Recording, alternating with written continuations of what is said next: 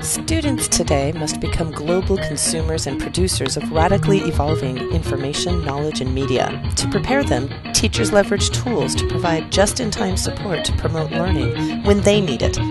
Web 2.0 tools connect students to peers and experts around the world to do more than correspond. They collaborate, create, question, design, and produce. Students tackle real world issues and propose and implement solutions. They contribute to the learning of their peers by sharing resources and information via social networking, the way I use these tools to enhance my practice and support the profession.